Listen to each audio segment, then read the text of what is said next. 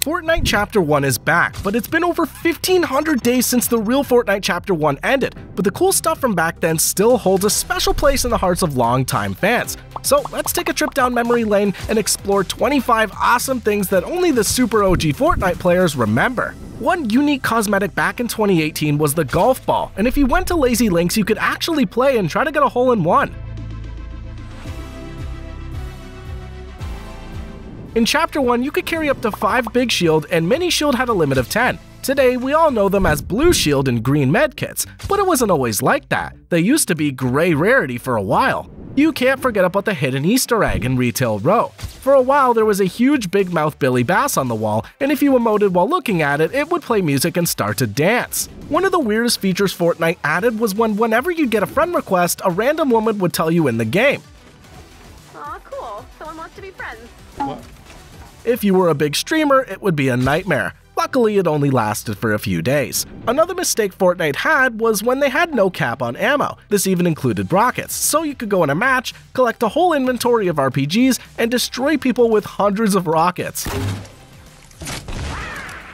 One of the features we didn't fully appreciate in Chapter 4 was the ability to swim, which didn't exist in the early days of Fortnite. In those old times, if you accidentally fell off the map, you'd be sent right back to the lobby. This made going after chests like this 10 times riskier. But I understand why Fortnite decided to remove transparent edits. In the old days, when you edited your structures, the removed sections would become completely see-through. This meant you could hide in a box and simply use an edit to peek through a makeshift window, which was incredibly overpowered. And I always get nostalgia when I see what the old Storm used to look like. You really don't realize how different it was until you look at the old cool hexagon design but I thought it was so cool. Just like the guided missile launcher, which was a classic weapon that made getting eliminations a piece of cake, all you had to do was shoot it into the air and steer it until it found an enemy to target, and boom, free kill. One of the funniest OG items is the creeping cardboard. It was randomly added in 2020 and allowed us to hide inside a box and throw down for extra camouflage. It was fun and a decent strategy if you were a noob.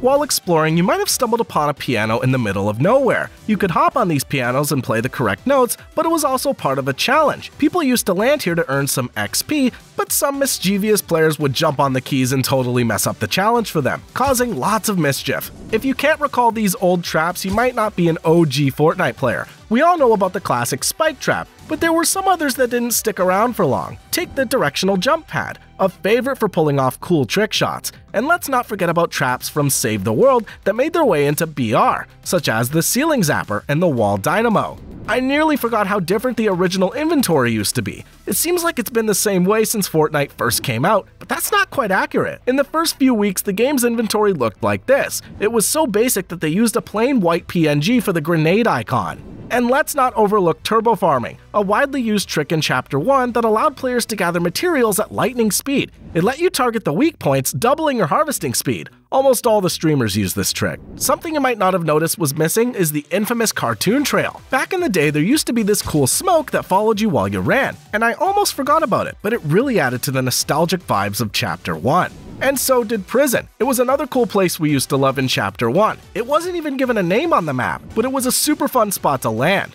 It was big, with lots of rooms and treasure chests, but as Chapter 1 went on, it got destroyed and turned into ruins. I almost forgot to mention Fortnite's wackiest throwable from back in the day. We used to have items like the Portafort, which were cool, but they just built a tower. Kind of simple. Then Playground mode came along, and it gave us the Spiky Stadium. It created a huge arena as big as a whole POI, and I have no idea how we didn't crash the service with all that fun. In 2018, Fortnite had its first April Fool's Day celebration. They don't do this anymore, but back then, they decided to play a funny trick on the players. They secretly made the impulse grenades way more powerful, like 10 times stronger, and this caused people to accidentally launch themselves into their own death. That wasn't the only time Epic played tricks on their players. In places like Dusty Divot and Greasy Grove, they put ice cream trucks with 100,000 health. One of those trucks even made a chest sound. If you manage to break the truck, you might get a surprise chest, or sometimes you get nothing at all. One of the cutest places we ever had in Fortnite were these special spots all over the island. If you looked from a distance, you'd see that they weren't just random buildings. They were shaped like animals, like a fox or a llama. They didn't serve much of a purpose, except for being incredibly adorable. The item shop also used to be a bit different, you might say.